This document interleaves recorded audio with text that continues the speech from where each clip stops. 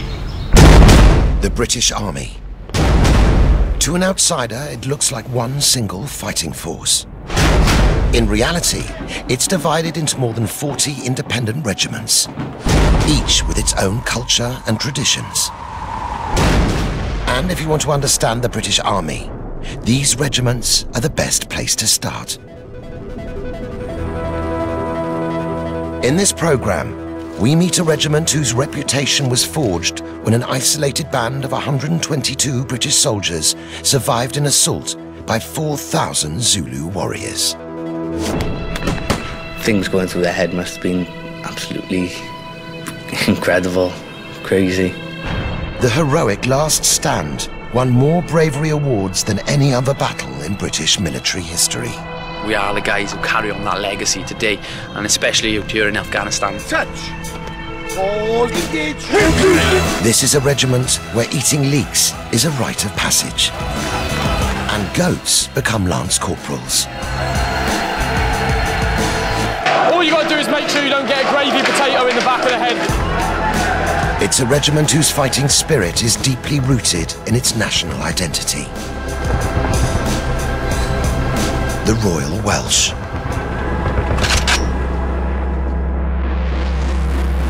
Go Welsh!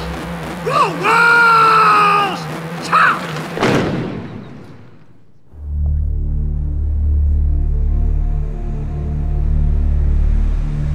January 2011. Highway 1 near Kandahar in southern Afghanistan. The Royal Welsh are operating in an area under threat from Taliban roadside bombs, known as IEDs, improvised explosive devices. Is there any particular reason you go into Kandahar? Is it bazaar or is it for a family occasion? Our main mission is to protect the main highway that runs around Afghanistan itself. It's had a lot of IED problems in the past, and the insurgents coming and laying IEDs which have blown out both civilians, American soldiers, and our own forces in the last uh, couple of years.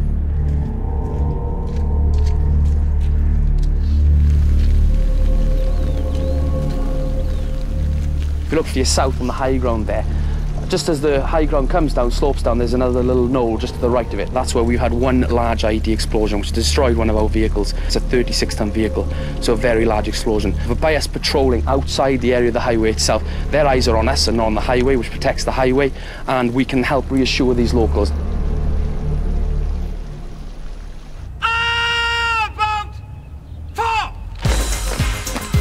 Royal Welsh is made up of approximately 1,500 soldiers and 200 officers.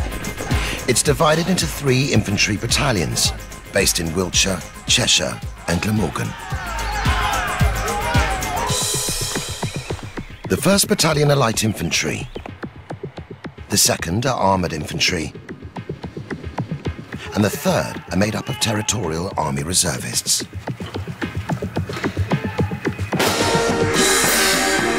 The roots of the Royal Welsh reach back over 300 years. But its defining moment came in 1879 in one of the most heroic last stands in British military history.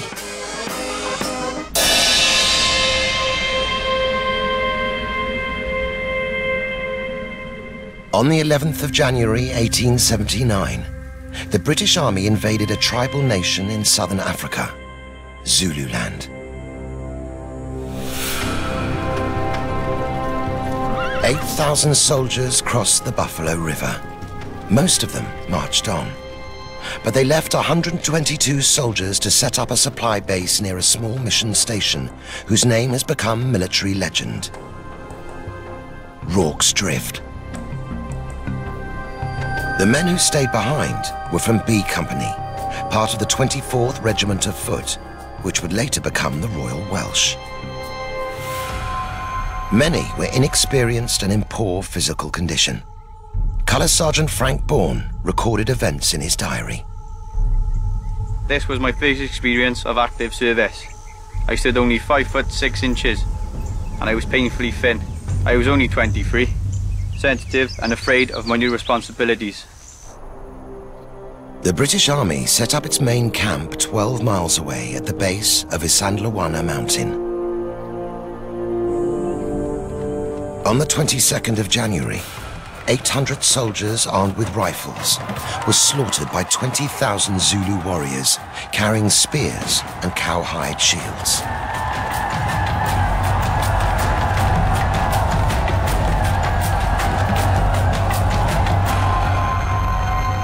Back at the supply base, soldiers like Private Henry Hook continued with their routine duties. Everything was perfectly quiet at Rorke's Drift. Not a soul suspected that only a dozen miles away, the very men we had said goodbye and good luck to were on the last throes of life. In the early afternoon, B Company's commander, Lieutenant Gonville Bromhead, was informed about the slaughter at Isandlwana. He ordered Private Fred Hitch to climb on top of a building and look out for the enemy. I could see the Zulus had got as near to us as they could, without us seeing them. I told Bromhead that they were at the other side of the rise and would extend in for attack. I told him that they were numbered up to four to six thousand. A voice from below. Is that all? We can manage that lot very well for a few seconds.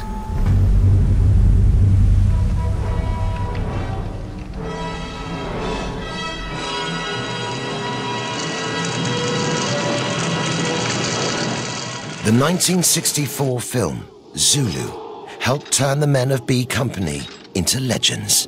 They're on the move! North keep those riflemen on the hillside pinned down! South But Zulu's epic portrayal of the battle is not entirely accurate. In the film, 4,000 Zulus attack Rorke's Drift over a vast flat plain. In fact, the mission station was built on a six-foot ridge. And B Company turned it into an improvised fortress with barricades of sandbags and biscuit boxes. The Zulus found it difficult to scale the British defences during their early attacks. The British soldiers also had another advantage. They were armed with one of the most technically advanced weapons in the world. The Martini Henry rifle. Well guys, welcome to Queen Victoria's weapon of mass destruction. This is a Martini Henry rifle. This was the standard service firearm of the British Army between 1874 and 1889. It's a single shot breech loading weapon capable of pulling a bullet through a railway sleeper at 500 yards. To load it, it was simplicity itself. It was soldier proof. You simply open the lever which drops the breech. The round is then slid into the breech, bring up the lever, and it's now cocked and ready to fire. A good rifleman could expect to get around 14 rounds a minute away with this. So it's a quantum leap in firearm technology. If you've got a man running towards you, this will put a bullet clean through him and maybe through the guy behind him.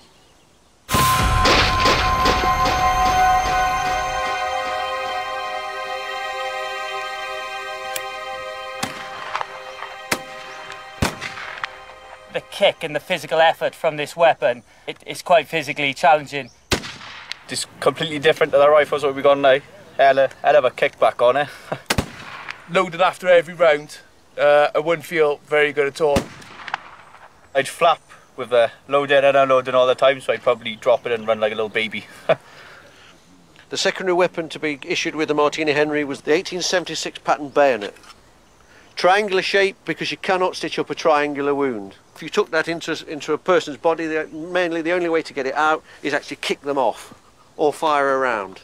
The front rank would kneel and push the bayonet up into the chest of the adversary or the horse's chest coming towards you. And behind the man that's kneeling is the second rank, which is actually firing over his shoulder. The muzzle is very close to his ear. You can understand why most Victorian soldiers was deaf. It must have been an immense physical effort to, to fight the Zulus that day. if they do some, I couldn't do what they done. Hats off to him.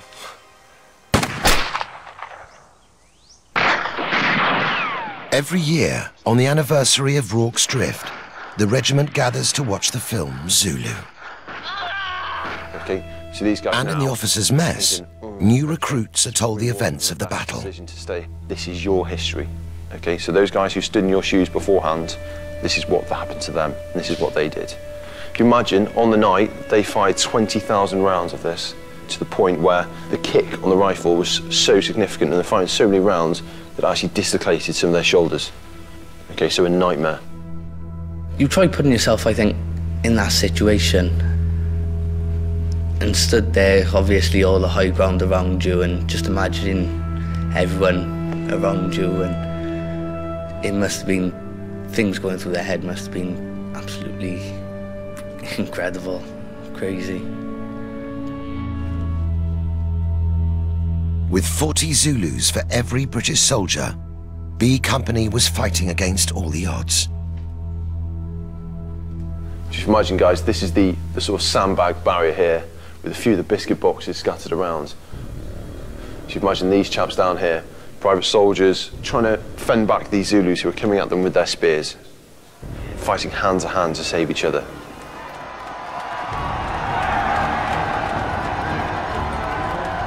By late afternoon, the Zulus were now breaking through the sandbag barricades.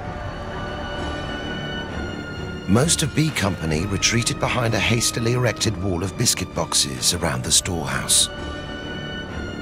But six soldiers, including Private Hook, together with a dozen sick and injured, were trapped inside the hospital building. We were pinned like rats in a hole. Already the Zulus were fiercely fighting, trying to burst through the doorway. The only way of escape was the wall itself, by making a hole big enough for a man to crawl through. Private Hook and the other healthy soldiers managed to rescue nearly all the sick and injured men. But the supply base was now overwhelmed by Zulus. The British soldiers stood little chance of escape.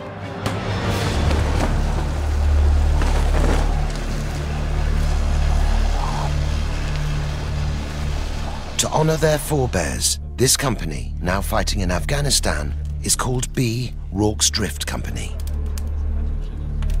The comparisons, I think, are, are quite strong. We're living in very basic conditions here, as the men did back then, and we've got an enemy force around us which uh, does intend to do us great harm. I think that sense of isolation is uh, is quite strong these days, and that what binds us all together. The sense that we are living in a in a uh, in a base which is uh, no bigger, I'm sure, than what they defended back in 1879. This is our eating here. You can see some of the foods obviously we've got at this location. The last obviously six months or so I've been living off army rations. The tendency we do get some fresh, like eggs, and uh, when obviously you go on patrol we do get a couple of fresh meals like bread, cheese slices, and all the sauces and complements actually go with it. It's our library, couple, couple few few books. And the only obviously bit of, bit of fun we have in the night, nights, obviously playing darts. We've only two darts which we got, the other one got damaged. This is our homemade gym, which we've made up ourselves. To obviously keep us fighting fit before we go home. This is where our toilet is. Slightly hidden away, so we a bit of privacy. Obviously, uh, obviously pooing in bags at the moment, and obviously all the black bags are burnt. The rooms themselves, 18 man tents. Obviously, we've only got about 13 guys living there at the moment. As you can see, obviously the rooms, very basic. All the luxuries obviously sent in by family members or bought from the PX. Like protein shakes, a number of the guys are on protein shakes. As you see, we live very basically, but the guys are comfortable. I think that's everything a soldier needs these days.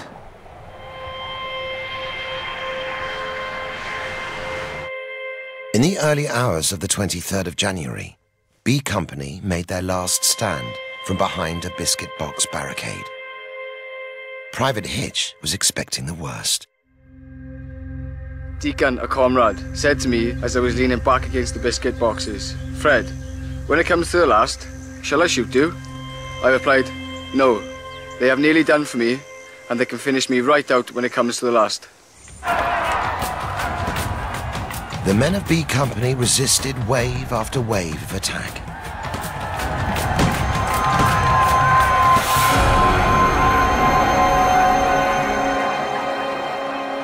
In the film, the end of the fighting is marked with a show of respect from the Zulu warriors. They're saluting you. They're saluting fellow braves. But according to contemporary accounts of the battle, this Zulu salute to B Company is fiction. In reality, it was the arrival of British Army reinforcements that brought about the Zulu retreat. We saw the Zulus had once more swept round the mountain to attack us but it was too late. And on seeing that we were reinforced, they turned silently away, and only their dead and a few wounded were left with us.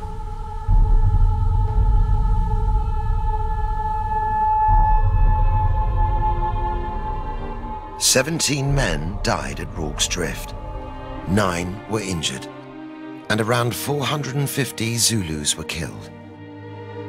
Seven Victoria Crosses were awarded to the 24th Regiment of Foot. At Rorke's Drift, more bravery awards were given to a regiment than any other battle in British military history. British Prime Minister Benjamin Disraeli described its defence as one of the proudest moments of the British Empire.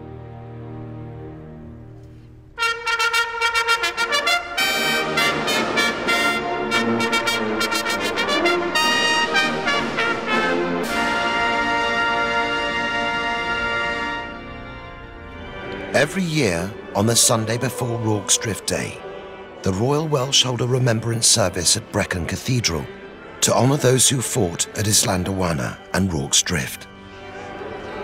After veterans parade into the cathedral with the standards of the Royal Welsh ancestral regiments, the colonel of the regiment, Major General Roddy Porter, celebrates the regimental spirit of the Royal Welsh.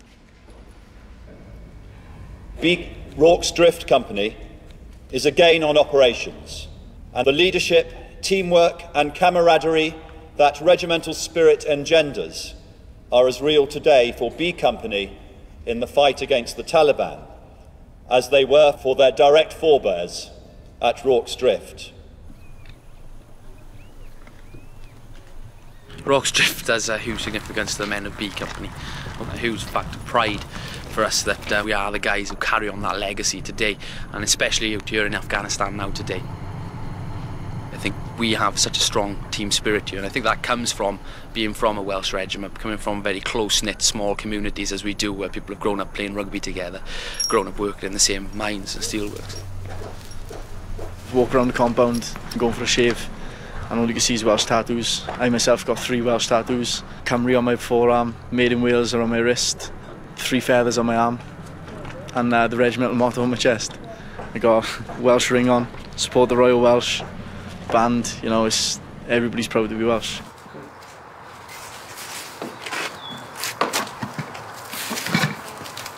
Billy, one of the regiment's goats, is being prepared for the most important day in his calendar St. David's Day. At the moment, I'm washing him down with lavender shampoo, so it just helps calm him down and get any stains off him.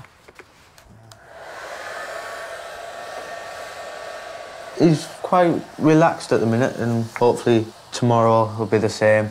He'll be able to uh, perform well, but obviously he'll have his off, off days. The regimental goat is a tradition that dates back to 1775. According to legend, a wild goat wandered onto the battlefield and led a victorious charge against the enemy.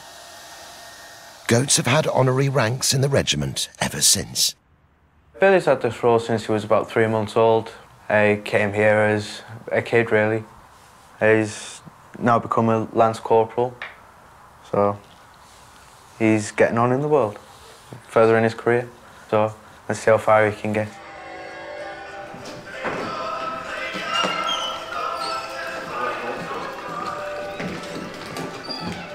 At 6 a.m. on St. David's Day, the officers wake the soldiers in their beds with a gunfire breakfast. It's tea laced with rum, a tradition that goes back to World War One. Wakey, wakey, hands off, Sneaky.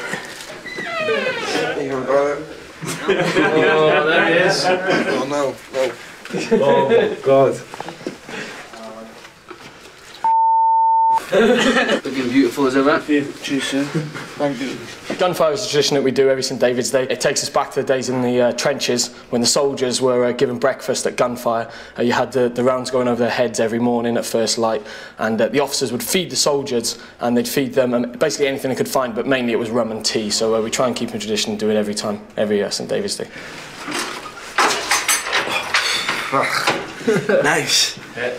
they don't like it at all. It's not very nice to be woken up at six in the morning and have uh, have rum and tea shoved down your face. What Time did you get in last night?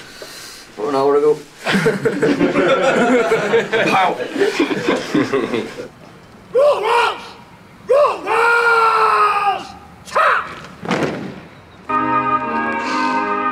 Right, the hymn, come round there.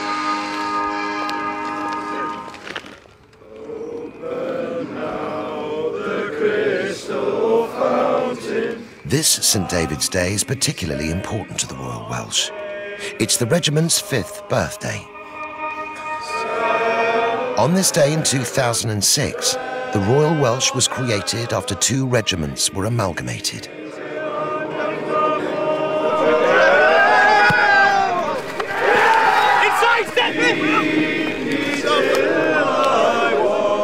The regiments celebrate with a fiercely competitive rugby tournament.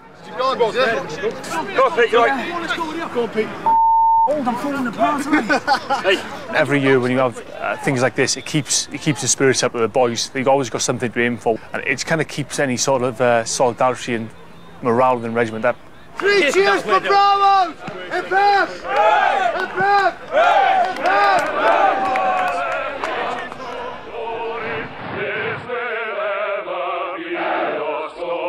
In the film Zulu, B Company is bound together and sustained by its Welsh spirit. The soldiers try to drown out the Zulu war chants by singing the Welsh hymn, Men of Harlech.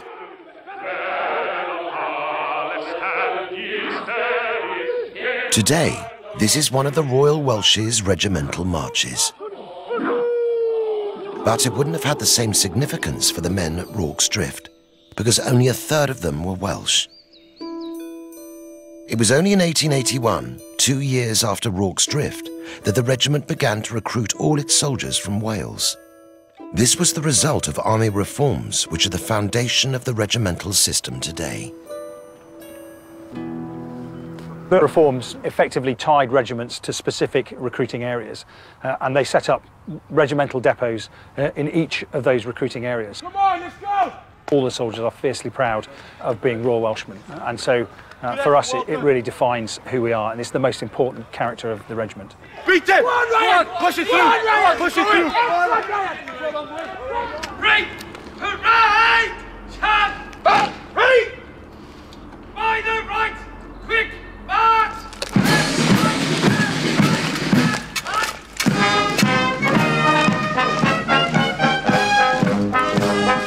Lance Corporal Billy is leading the officers to one of their greatest challenges of the year.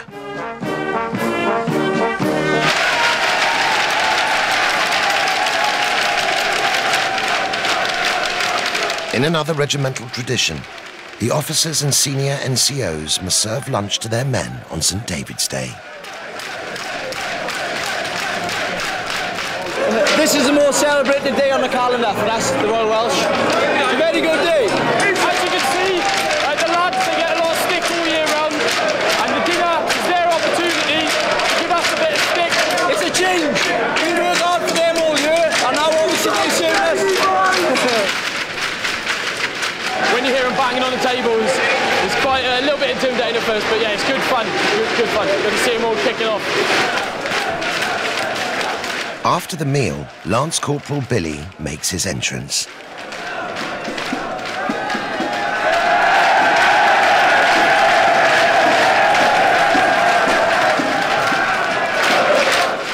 Billy's arrival heralds another great Royal Welsh tradition the leek eating ceremony.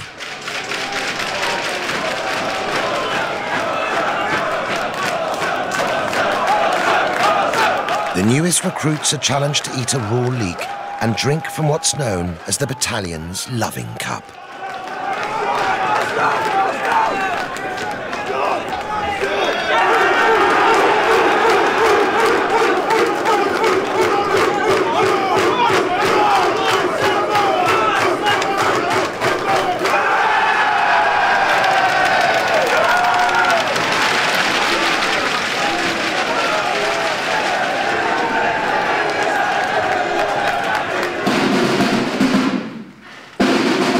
In the officers' mess, the officers have their own leek eating ceremony.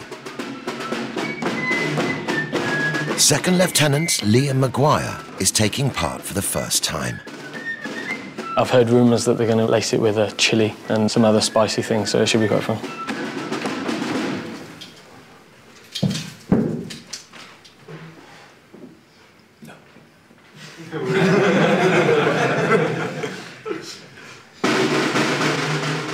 To keep your sense of identity and know that you are from Wales, and it's good to keep celebrating the things that make us different. And when you know that you're on the front line and you, you've got people around you who are from the same place as you and they cherish the same type of things you do, it just brings you together and it helps that type of brotherhood out there, which is really important.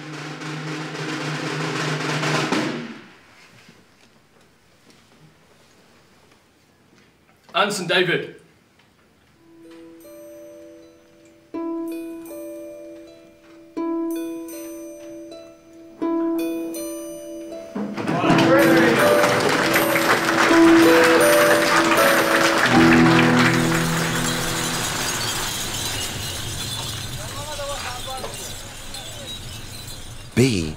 Drift Company are about to return home from Afghanistan.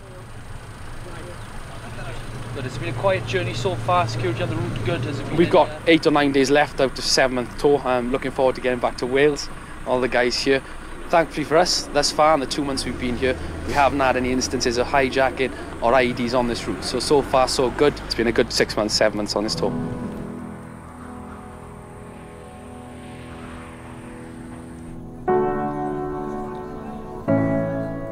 The fighting spirit of Rorke's Drift and the regimental bond with Wales has made the Royal Welsh who they are today. we do rely on each other here, and I'm confident that uh, if we were ever unfortunate enough to be put in a situation where we did have hordes and hordes of uh, of enemy forces uh, running up the ramparts there, I think we yeah we could stick together and we could pull through and get through that.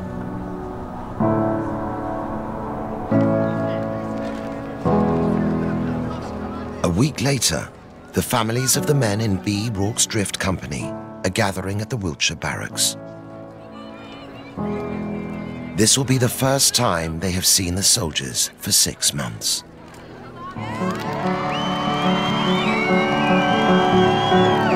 Every one of the 150 men who went out to Afghanistan have come home.